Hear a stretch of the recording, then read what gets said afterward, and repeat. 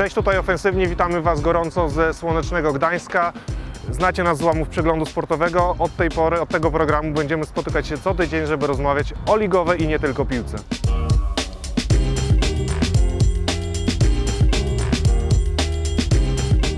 Jesteśmy w Gdańsku, gdzie w niedzielę mecz kolejki. Do Leki przyjeżdża Jagiellonia. Jak widać, pogoda nie rozpieszcza. No jest zachęcające, żeby przyjść na stadion Lechi. Yy, podgrzewana murawa, wielkie emocje. To jedyne miejsce w niedzielę w Gdańsku, które będzie gorące, miejmy nadzieję. Będzie gorąco, ale drużyny przygotowując się do tego meczu to no, szukają tej boisk, bo i w Lech, Lechia odwo- odwoływała treningi i Jagiellonia opuściła Białystok. Jagiellonia opuściła Białystok na początku stycznia, przyjechała, rozpakowała się i znowu się musiała pakować, ponieważ nie miała warunków do trenowania, szukała suchych boisk yy, w środku Polski, czyli w Uniejowie, w centralnej Polsce. Także tam szykowała się do meczu z Lechią. Obie drużyny były w Turcji, obie drużyny leciały tym samym samolotem i obie drużyny musiały sobie tam w Turcji radzić. Jak powiedziałeś, Jagiellonia była trzy tygodnie i widać, że i Jagiellonia, trener Probierz wybrał się do, do fryzjera i na zabiegi upiększające i Sławomir Peszko też wybrał się do, do, do fryzjera. No tak, o, o, obaj mieli brzytwę na gardle, można powiedzieć, no, nóż na gardle, brzytwę na gardle mieli obaj, ale to, to już jest jakby y, w tym sezonie nieaktualne. W poprzednim sezonie Jagiellonia miała rzeczywiście nóż na gardle, bo walczyła o utrzymanie do samego końca.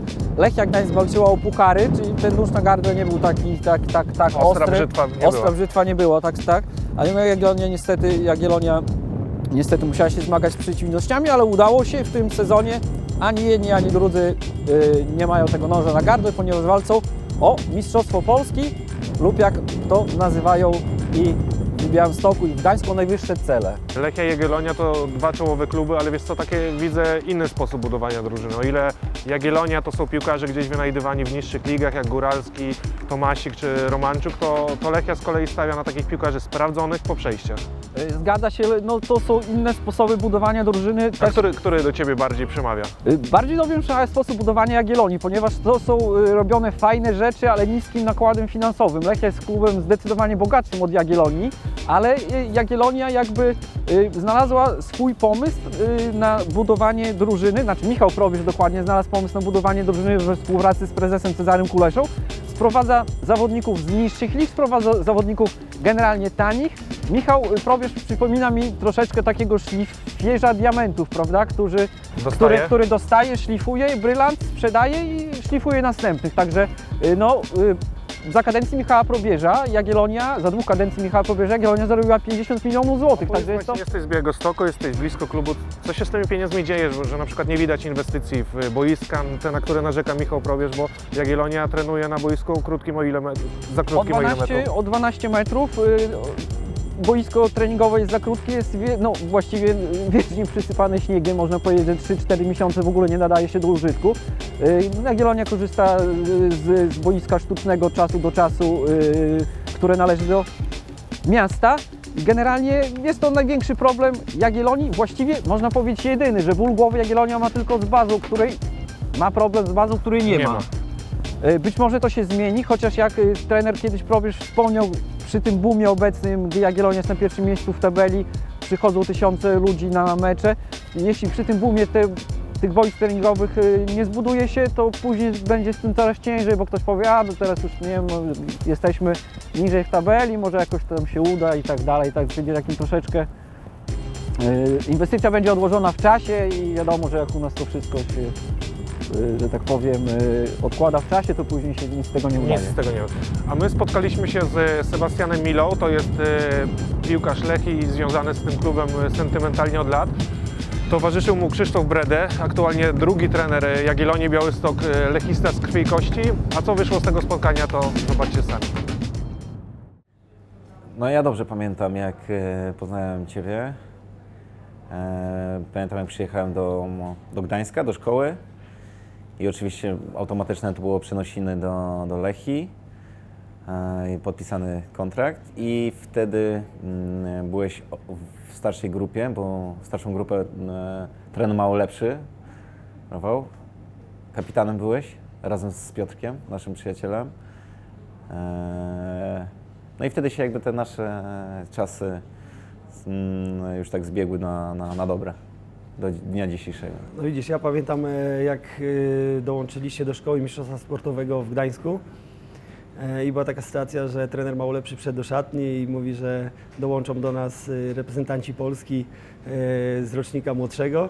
No i my tak z jednej strony byliśmy zdziwieni, że ktoś młodszy do nas do, dołącza, ale mówimy fajnie, że reprezentanci Polski pewnie będzie jakaś tam lepsza rywalizacja, będziemy mocniejsi.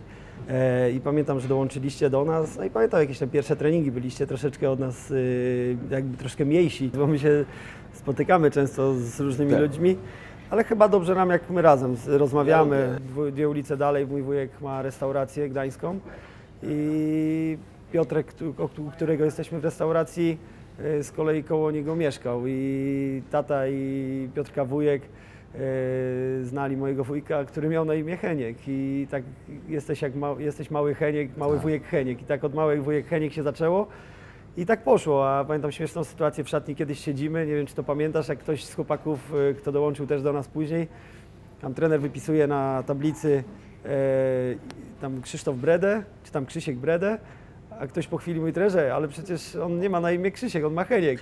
A taka konsternacja, każdy patrzy i tak nie wiedzieliśmy o co chodzi. Wolę jak, jest, jak jesteśmy z Henkiem sami, bo wtedy już jesteśmy sprecyzowane, mamy o czym będziemy rozmawiać. Ja uwielbiam po prostu i, i Heniek, no tak jak mówię, bo tutaj nie ma czasu, żeby to wszystko y, popowiadać, ale ja naprawdę, Heniek mi wiele ciekawych rzeczy mówi, co wcześniej mnie w życiu nie interesowało, ale on to mówi z taką pasją i tak to mówi, że, że to mnie cały czas jakby przyjmuje z, tą, z otwartą buzią to i to jest fajne i, i rozmawiamy też nie tylko o piłce, ale rozmawiamy też o i o naszych kolegach, znajomych.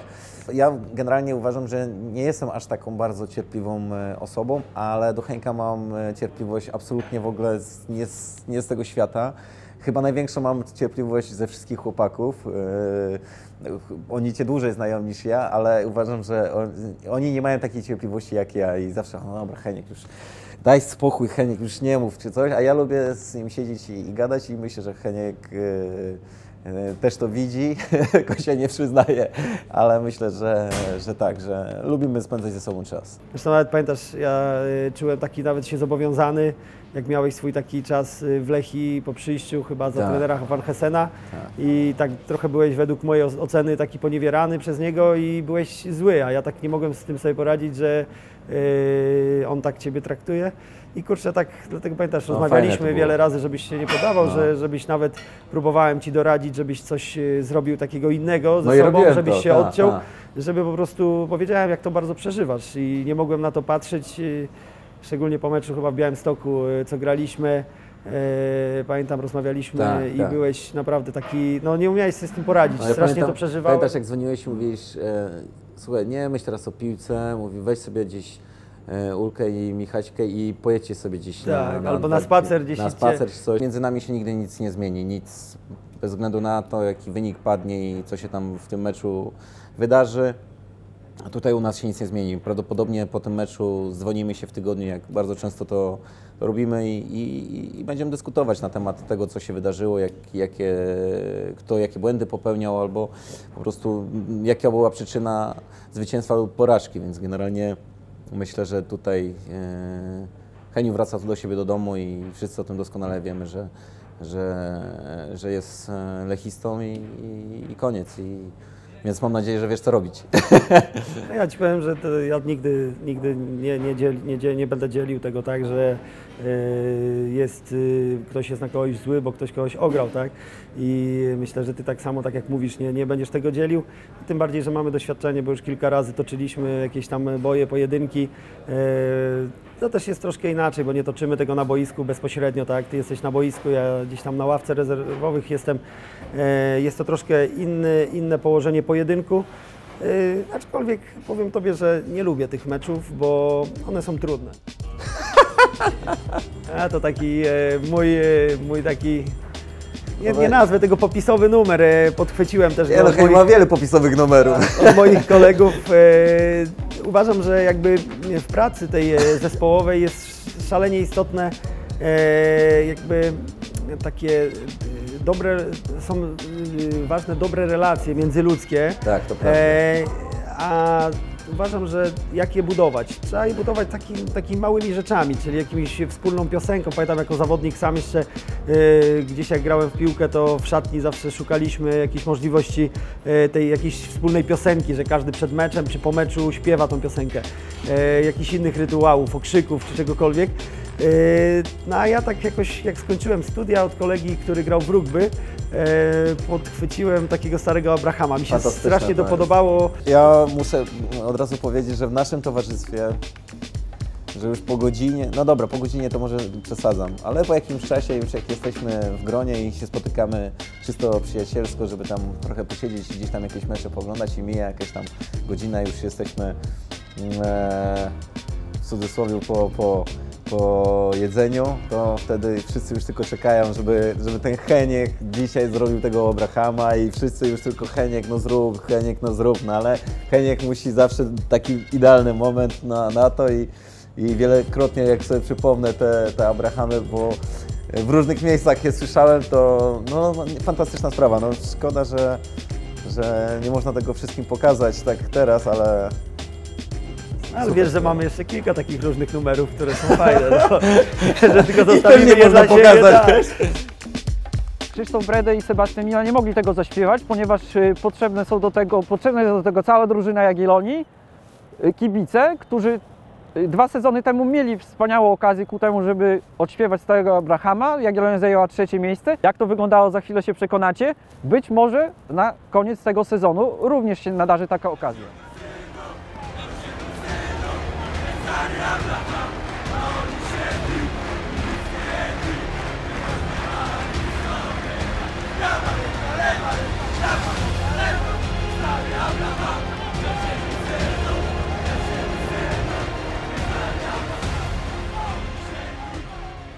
Mak, Borysiuk, y, Kuciak to są piłkarze, którzy znali już polską ligę, wrócili teraz do, do niej i zasilili Le- Lechię. Z jednym z nich, z Arielem Borysiukiem, spotkaliśmy się na krótkiej rozmowie. Jesteśmy na drugim miejscu, mamy tyle samo punktów co pierwsza drużyna, także tutaj gdzieś nikt chyba nie ukrywa, że jednak to Mistrzostwo Polski będzie, będzie takim celem e, nadrzędnym. Wiadomo, że, że gdzieś tam Lechia nigdy, nigdy nie była tak, tak wysoko, natomiast myślę, że drużyna ma, ma potencjał, żeby, żeby sprostać temu zadaniu i, i właśnie też, też po to tutaj przyszedłem, żeby gdzieś tam dołożyć cegiełkę do tego, do tego, do tego sukcesu. Byłem wcześniej e, półtora roku w Gdańsku, znam bardzo dobrze to miasto, e, kibiców, kibiców, stadion, drużyna. Myślę, że też e, praktycznie 3 czwarte jest, jest e, ta sama szatnia, która była rok temu, jak odchodziłem, także e, mam dużo szacunku dla tego klubu i tutaj przyszedłem po to, żeby im pomóc, a nie, a nie traktować tego właśnie jako, jako zesłanie czy, czy coś innego. Staram się nie myśleć, nie, nie, nie wybiegać za daleko w przyszłość, bo, bo jestem wypożyczony właśnie z, z Anglii, także, także mam tutaj swoje, swoje gdzieś tam cele e, do wykonania do, do, do końca sezonu, do, do czerwca, a później gdzieś tam siądziemy sobie e, z Mariuszem i, będziemy gdzieś tam wybierać jak najlepszą opcję dla mnie. W Anglii zaczyna się sezon w sierpniu i tutaj od, od, od sierpnia praktycznie do, do grudnia są mecze co trzy dni, później,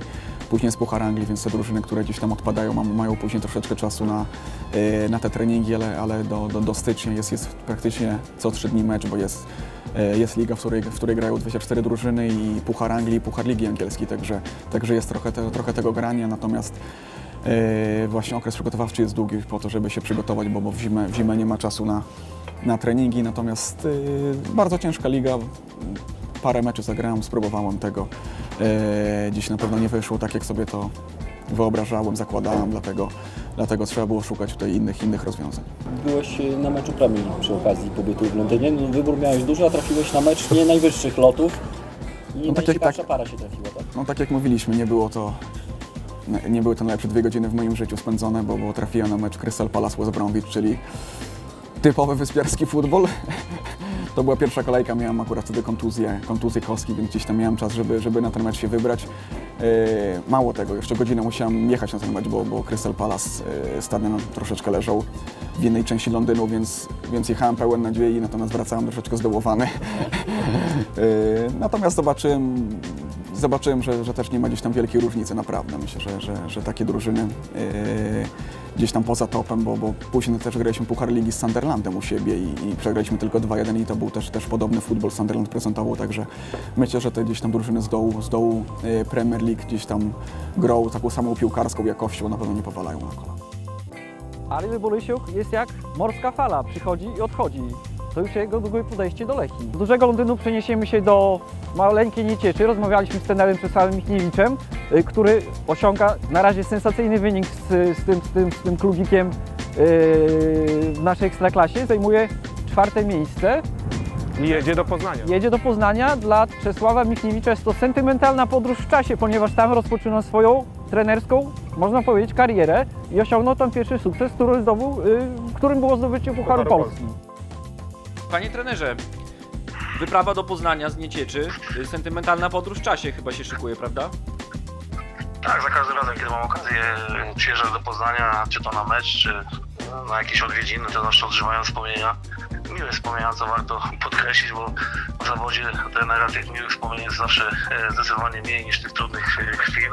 Dlatego cieszę się bardzo, że jedziemy do Poznania. Oczywiście mam świadomość, z kim będziemy grali i w jakim momencie. Lech jest jeden z faworytów do walki o mistrzostwo. My chcemy zrobić niespodziankę przede wszystkim sobie i postarać się awansować do pierwszej ósemki. Mamy bardzo trudny początek, Lech, Lechia, Legia, czyli trzech pretendentów do Mistrzostwa Polski. No ale musimy szukać punktów w każdym meczu i postaramy się o niespodziankę w Poznaniu. Jasne. y, Poznaniu pierwszy trenerski sukces, y, Puchar Polski zdobyty z Lechem y, w czasach trudnych, y, finansowo dla Lecha, prawda? Bardzo trudnych można powiedzieć. A poza tym okup, okupione, okupione stratą dwóch telefonów, gdy, gdy podrzucano, gdy podrzucano od ciebie. Tak, to jest e, taka sytuacja, jak opowiadał zawsze Michał, to podrzucali, podrzucali, zapomnieli złapać, ale akurat w tym momencie złapali mnie, ale telefony gdzieś tam upadły. To na pewno miłe chwile i wiele takich chwil mógłbym przytaczać e, związanych ze zdobyciem Pucharu Polski, jak e, cała podróż na rynek i fetowanie później tego mistrzostwa i Pucharu przez kilkanaście dni, można powiedzieć nawet tygodni, e, jazda z te puchary po Wielkopolsce. Także no coś nowego dla, dla Lecha, bo po 17 czy po 18 latach pierwsze trofeum zdobyte w Poznaniu, także myślę, że szacunek obopólny jest z mojej strony i ze strony kibiców do tego, co się wydarzyło. Oczywiście były trudne momenty, gdzie przez dłuższy czas nie otrzymaliśmy pieniędzy, ale na szczęście drużynie byli zawodnicy, którzy trochę zarobili na zachodzie, Piotr Świerczewski czy yy, Piotr Krejs. W trudnych momentach pomagali, pomagali drużynie. Można powiedzieć, że służyli trochę za bankomat nawet. Runda wiosenna jest zawsze trudniejsza, układ siły jest zdecydowanie inny. Dzisiaj nie wiemy, jak transfery wypadną w innych drużynach, bo każdy zespół i przed nami i za nami szukał wzmocnień. My zostaliśmy przy tym, co jest. Odeszło dwóch zawodników, Stano i, i Kuchar, którzy troszeczkę mniej grali. Poszedł jeden tylko młody Pedal. Zostawiliśmy tą drużynę, która grała jesienią. No, oczywiście musimy świadomość tego, że, że walka zacznie się nie tylko o punkty, ale też o kartki.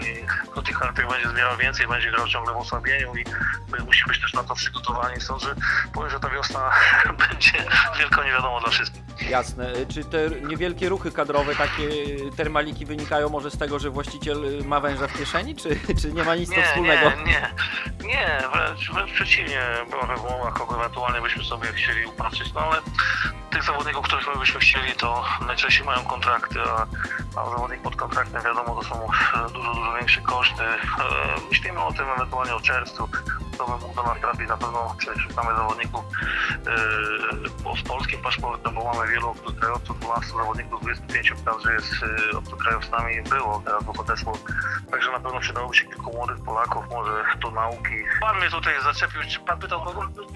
Będzie grał, będzie grał, będzie grał. Będzie grał, tak? Aha, ktoś o skład Nie, nie, słuchaj, Ktoś o nie, skład s- Słuchaj, nie, wiesz co, stoi pod restauracją takiego krysztalu naszego na śniadanie i taki dziadziuś przychodzi, no nie, z 80 lat, po liczbie, jak mówią, walizką, w kaptur, w czapce takiej, wiesz, yy, takiej, jak kosty chodzili i czeka na mnie, wiesz, tak patrzy spod kąta oka, jak z tobą rozmawiam Aha. i, yy, i tak podchodzi mi tak, panie trenerze, będzie grał ten drugi na prostą kontynę, czy nie będzie grał?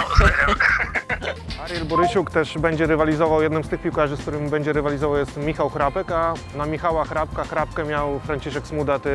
Znasz Piotrek y, szczegóły tego, jak, jak trener namawiał y, Chrapka, żeby przeszedł do Łęcznej. No tak, no trener Smudo jak to ma w zwyczaju zawsze mówi, że robi niesamowitą pakę. Teraz to niesamowi- nie, niesamowitą pakę będzie starać się robić y, w Łęcznej. Dzwonił do Michała Hrabka, trener Smuda namawiał go gorąco i oczywiście komplementował w swoim stylu piłkarza Lechii Gdańsk, mówiąc słuchaj stary, ty nie masz kleju w nodze, ty masz dwa kleje. Michał chyba nie dał się namówić na to, mimo że trener tak go, że tak powiem, y, zapraszał. Wolał ciepły Gdańsk. Wolał ciepły